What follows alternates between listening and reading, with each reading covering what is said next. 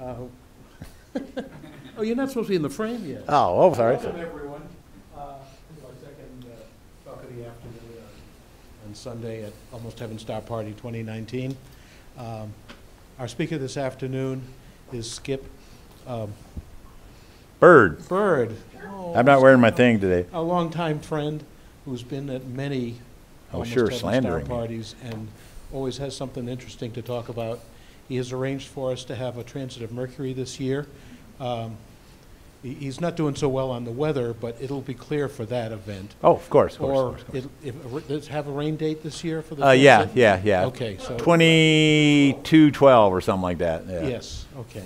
And um, so uh, Skip is going to talk about the transit of Mercury, but he never talks about just one thing. So he- he's a a s- solar system ambassador and a raconteur about many things and an educator in astronomy. So we, we love to have him talk to the adults as well as the kids. And he's ready to go on now because I'm taking his time. So please welcome Skip Bird. There we go, Now there. you can. Yeah, you get the picture.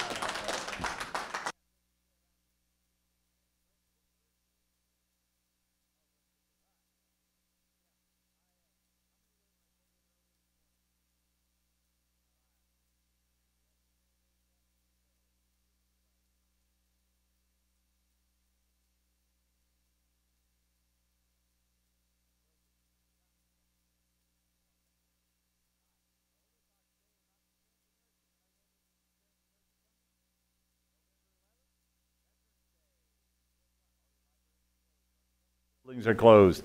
You should have lots and lots of audiences. Again, it's November 11th, so we take our chances.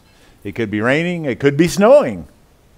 Could be nice and clear. Let's hope it's nice and clear. I'm showing going to show you today how what's going on with it. We're going to take a look at some of the toolkits that the Night Sky Network supplies uh, on shadows and silhouettes, which will help us with transits. And then we're going to go outside because I never like to sit in here and talk and let you guys stare at me. So we're going to go outside and we're actually going to go on a short trip to see why, when you're looking at a transit of Mercury, why you cannot see it without a telescope. Okay? Main reason is this is how big Mercury is. That little dot? Okay. If you saw that big yellow sun on the side of the tent out there, the green and white striped tent, this is the scale of this planet to that sun, which happens to be our sun. And we're going to see how far away this is from the planet or from the star and how far away we are.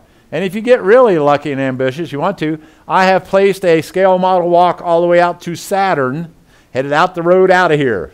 So as you drive out, you see little squares everywhere. Hopefully the balls are still attached to them. After the wind and stuff, you don't know. And you'll notice, you, unfortunately, you can't see sun from several of them, but you can get all the way up to Mars Ceres, I think, before we lose the sun on the view of the side of the tent. But we're going to go out and take a look at actually how big it is and why you got to do it that way. Okay? So that's kind of what's going on there. All right. So the first thing, how or what is a transit? Who knows what a transit is? It's not the big tall thing on wooden legs that you put look your eyeball through. So I want the real. Say that's what you're going to answer. All right. Uh, no hands went up. They all went up and came back. Yes, sir. What's a transit? I believe it's when Mercury will pass in front of the sun. Okay, Mercury. Yeah. Do we have transits of other things? Uh, I guess any planet inner to the Earth. Okay, enter to the Earth. What would you call an exoplanet going in front of their star? Would that be a transit? Okay, great, great. All right, so here you go. Here, you get one of these too. All right, sorry, that's the sun pizza. Yeah, a transit, anything goes in front of something else, which doesn't cause uh, uh, you can get all confused with occultation and eclipses and stuff like that. Technically, eclipse is a transit, and occultation is a transit. They're all kind of the same thing, more or less. They just they're getting picky with the words. So basically, a transit of Mercury is when the sun's going to go between our view of the sun. It's going to go in there somewhere along the way. I have a picture here of a 2000 and what was this one? Ah, there you go. That 2006. All right. Look. Whoa, look. Look what's up. What's that? That's an amoeba. No, actually this is a microscope. No, that is a sunspot. That is the transit of Mercury at that time. Oh, exposure, you know, several pictures going across there and everything. More sunspots. Woo! Promises, promises. Not like this time. Yep, yep. But we do have a sunspot growing for tomorrow if we're lucky. Okay. So that's what the transit will look like. That is through a telescope. It's not like the transit of Venus. Anybody see the transit of Venus? Okay, those of you who didn't see it, you're out of luck, man. Unless you live to be 130, 40, 50 years old, you ain't going to see it. Transit of Mercury happens about 13 times every century. 2006, 2016, maybe, something like that. There, there's one about every two to three years. Unfortunately, the next one I think is in what, China? The other side of the world. We're in the middle of the night. I don't remember exactly. So it happens whether you're ready for it or not. So uh, if we're lucky, it's on our side of the planet, which it is. The one you just saw and the one I'm going to show you some more pictures of happened in Maryland or this part of the world at sunset for us. Everybody else in the rest of the U.S. got to see the whole thing. Last about six hours. That's the whole thing. We only got to see about, what, 20 minutes of it? Sunrise, sunrise, yep, yep, something like that. So by the time we got to see it, it was going off the edge. Okay? Because it's not easy to do.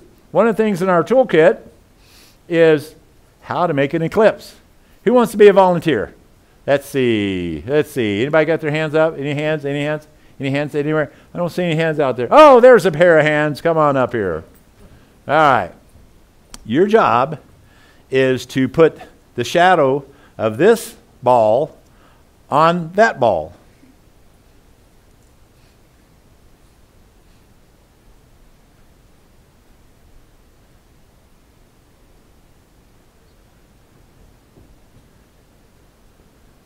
No, that's not the shadow, that's the words. Here, let me see if I can help you out here. Let's see if I can get you some uh, better picture there. Here, maybe you can do it that way. Now you got something. Oh, we're getting close. All right.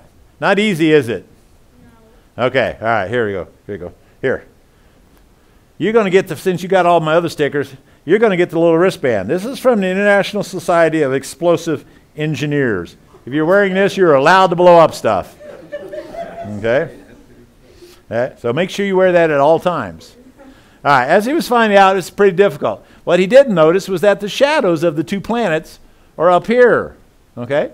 So if I move them around, and suddenly you look there, notice the shadow of the of the smaller one appears on the bigger one.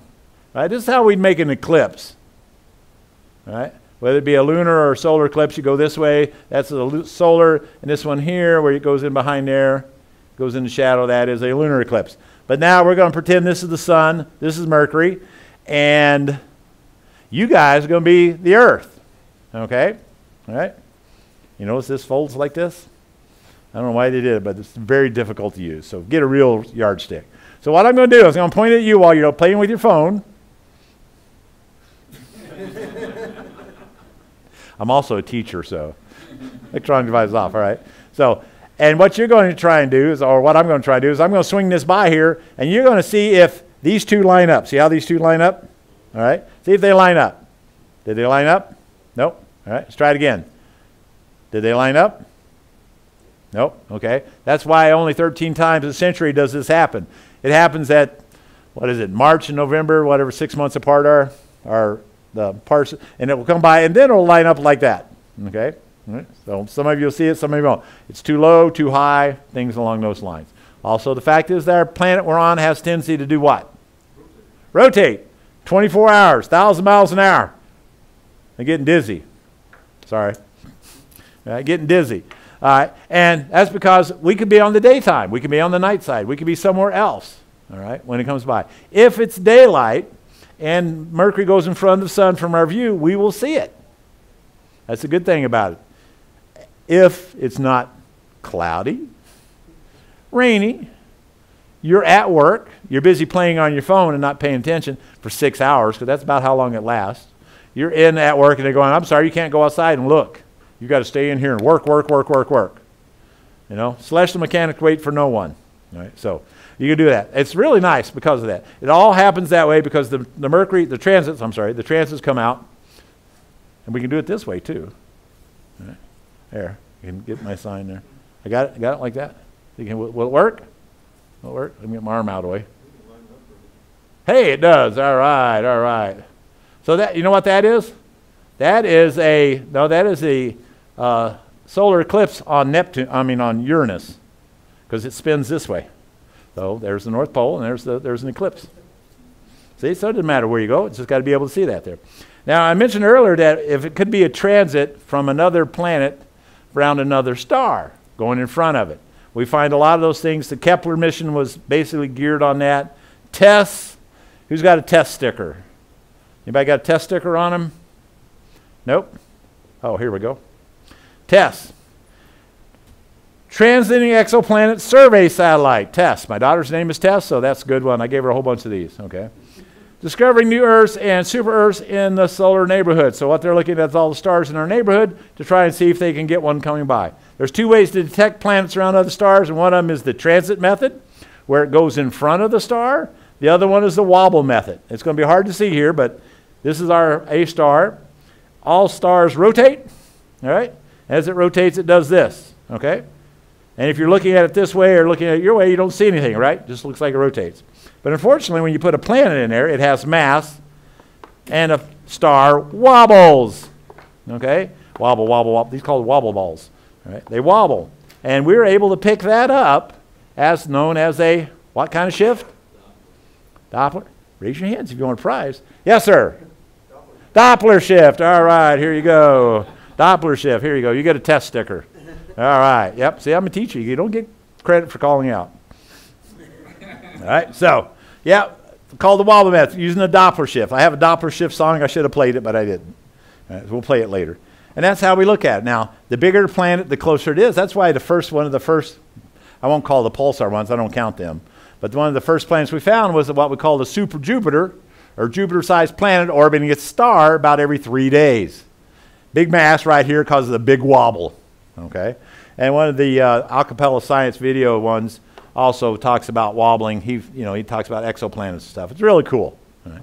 So that's, that comes in your kit also, your, your uh, transit and shadows and transit kits. Okay? There's a lot of stuff up here. I'm going to go through some of it, but a lot of them I'm just going to let you come up here. We got craters, we got everything. This is, all this came in this little bag. I don't know how they got that yardstick in there, but they did. Okay? Uh, how do you make your transit? Again, who wants to be the local transit authority?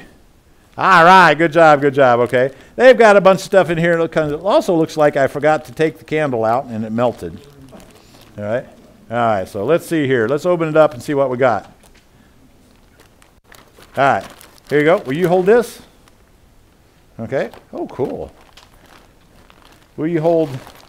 Will you hold this? Okay. Okay. Here, will you hold this? Where's the other arm? Can't hold, got all be in separate hands. They all got to be in separate hands. Okay, all right. Here, you want to hold this? All right. Here you go. You want to hold this? There you go. All right, there's my local transit authority. All right, put them all back in the bag and return it.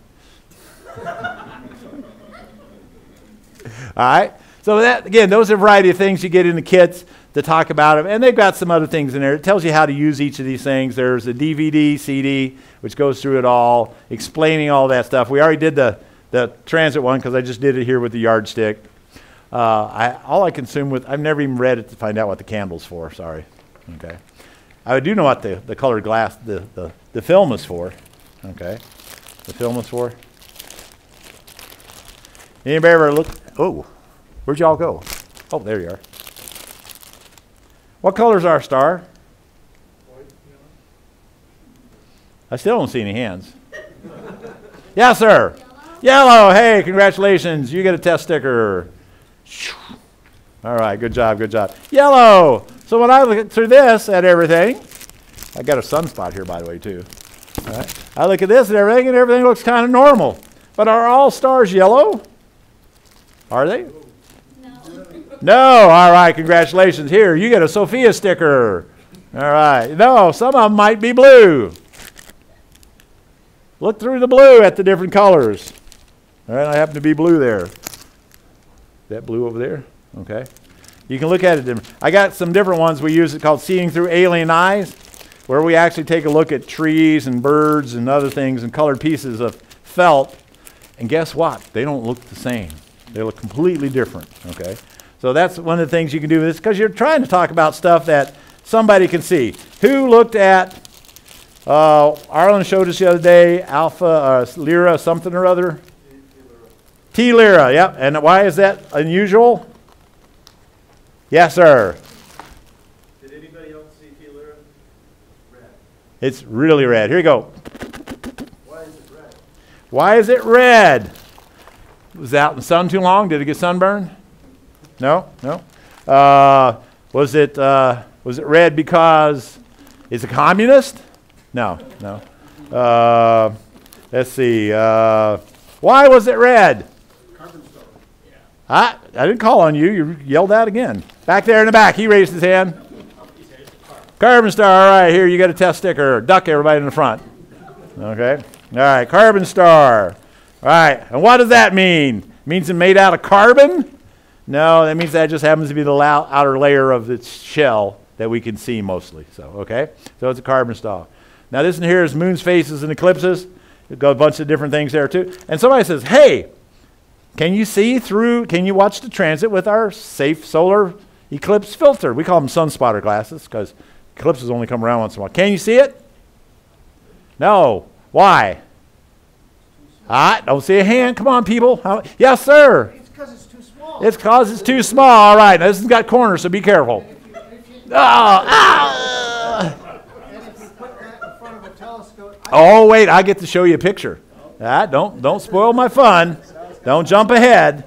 You read the you read the synopsis up. Yep. Yeah. You cannot see. It's not big enough to see. And when, like I said, when we go outside, you'll see that. And I, I don't have to tell people like this that don't put this in. You can put it in front of your binoculars if they're like three by twelves.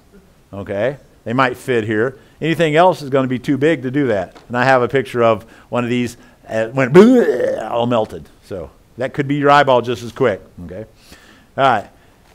This is the outreach toolkit I was talking about. In the back, DVDs, CDs, things along those lines. Tell you all about it. If you, how many of you belong to an astronomy club? Great, great, great, great. All right. How many of you, uh, many of the people that belong to this astronomy club, have done an outreach event, as in had your telescope out in the front yard, showed your neighbor, went somewhere to a park. Uh, somebody asked what you're doing, so I'm looking at the moon with my binoculars. Okay, all right. You've all done outreach. You all qualify for one of these toolkits. Your astronomy club qualifies for a toolkit. If your astronomy club doesn't have one, go beat up somebody. I don't know who. You know. Uh, you need some help with that, sir. well, I. Okay. I know sometimes stickers are really tough. Right? But yeah, you can get them from them. We get, we're actually now on our third round of, of uh, eclipses, or of, uh, excuse me, toolkits because we have so many people doing outreach. Okay. Uh, we got three or four sets of this, we got three or four sets of that. Uh, this young lady here is one of our outreach coordinators here, or one of our outreach people. She does a couple of programs during the summertime. Has a really good time doing it. One of the other ones that comes in the scale, uh, actually exploring the solar system, is an actual scale model. All right. Here's some scale models. Again, notice I've only got Uranus, Neptune, some weird planet, Pluto. All right. And when you start on your drive, you'll notice that you only go to Saturn. Saturn's about six tenths of a mile from here, a little over a, a kilometer away. All right. And I got tired of walking, so I stopped. I stopped at Saturn and went back. Uh, at this example, Pluto is two and a half miles away, 2.6 miles away, something like that. Okay. Pluto is not much better, bigger than the head of a pin. Again, this is all related to the size of that sun out there, that one meter sun. And this is one of the few models where the scale and distance are the same. Right? Most of your pictures, most of your models, you know, stuff like this, okay? This is not the same scale. They're not the same scale. All right? Because is Saturn smaller than Uranus and Neptune? Nope. No. But they had to wedge it in there so they could get the rings in there. Okay. You sure? It's hold on, hold on. Uh, I, don't know. Every time I see a picture, it looks just like this. Okay. So it might be, you know, it might be in there that way. All right. The other thing about it is, it's going to be a publicized event. It's not like the transit of Venus, where it only happens every hundred years or so, you know, whatever it happens to be. But it is something that is unusual enough that people are already starting to talk about it. Uh, I had the libraries contact me and said, hey, we'd like for you guys to come out and do something with the transit of Mercury. Great. I tell them, when is it? That, well, they, they said, when is it? They'd heard about it. So I go back and say it's November 11th from 7 a.m. to 2 p.m. They go, oh, that's Veterans Day. We're closed. So what does that mean? You're closed, but that doesn't. Is there a rain date? You know, something like that. No, no. We'll get to put them on there. So we're going to get with them and get permission to do it outside the libraries, even though they are closed that day. Okay, so that's something you can do.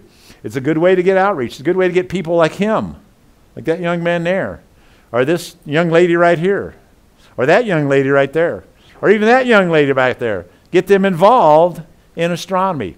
When you look around the room, you see a bunch of old gray guys, don't you? Are we getting younger?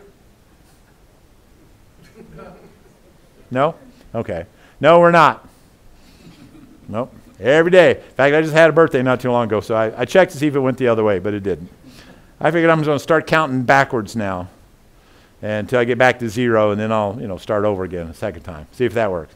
But no, we're not getting younger, so we need younger people. This is all you know. Me, I'm the outreach guy. Okay, I'm the outreach. I'm trying to get everybody involved in outreach so that we're when we go away, when Terry finally retires, okay, all right, that there'll be somebody younger to take over for him. Right?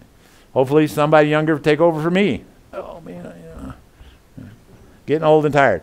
Ah, how many were at my uh, sky tour on Friday night? Ooh, look at that. Okay, all right. Remember something I called the triangle, the summer triangle?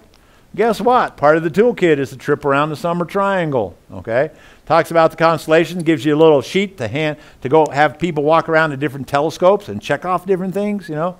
So you don't got same baby, well, we're all looking at Jupiter, all looking at this. No, you got one looking at this one, you got one looking at that one, you got one looking at another one, so they can wander around. Of course, the guy running the telescope is really bored because he's looking at the same thing all night, but he's got a purpose in life, and that's it.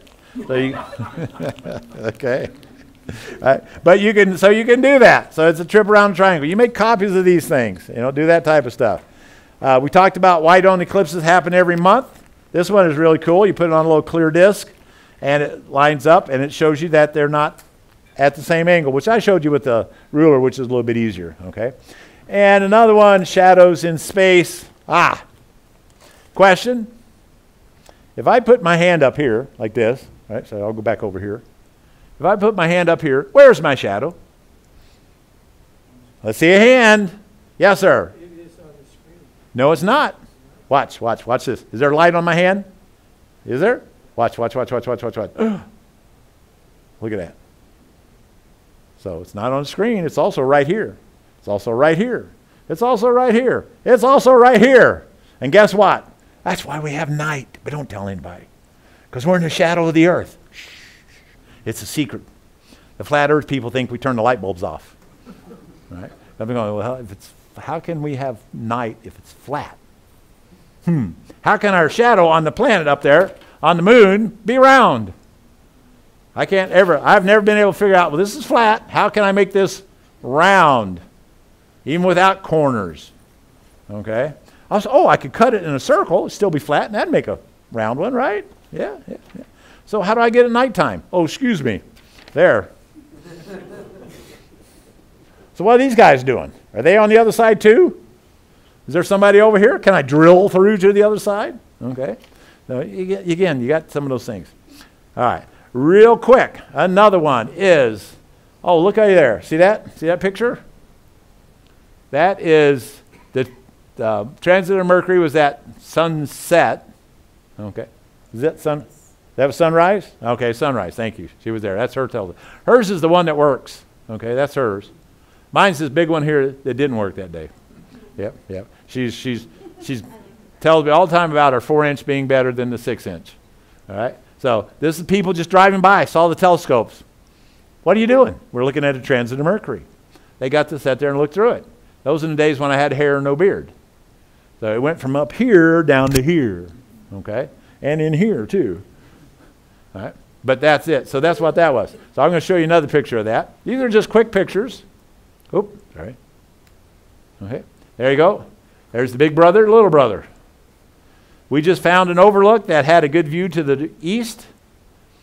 Slap the old Westminster Astronomical banner on the side of the van. Have banner will travel. Okay, that's that's three quarters of our outreach is that. Pull up in a van, pull out a telescope, throw up a banner, throw out a donation bucket, and uh, we do pretty good. Okay? And we talk about different people. Oh, those are the days of my pink sunglasses, too, by the way. After a decade, they finally went away. I finally left, lost them all. There's the picture we all saw. You see Mercury anywhere up there? Right? It is actually way over right in there somewhere. Okay? somewhere in there. That was, that was almost how good it got that day. All right? Oh, there's one of my relatives. All right? Yes, I'm talking about you. All right? There it is.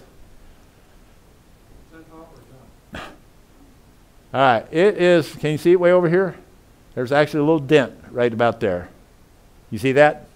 That's it. That's all we saw. All right. Actually, we saw a little bit more. Now, can you see the dent? Can you see the little ball? Right there? See a little ball right there? Yeah, you can't. Okay? That's one of the difficulties of the transit of Mercury. That's why people aren't going to be able to go out like they could with Venus, put on the eclipse glasses, and see it. Okay? They're going to need a telescope. That's where you guys come in. Solar filtered, solar projection, pinholes. Pinholes won't work because you can't get a long enough focal length to make that dot big enough to be seen. So it will not work that way. Uh, it's about 50. You need about a magnification of 50. You might, again, depending on how steady you can hold your binoculars and stuff, uh, 30, 40, something like that. It's not, it's one, what is it?